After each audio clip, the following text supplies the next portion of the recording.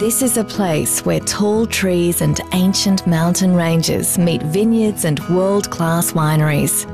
You're just an hour's drive from Melbourne, but a world away from the city. Here, stylish restaurants, quality produce, and boutique accommodation are in harmony with village life, open gardens, and wildlife.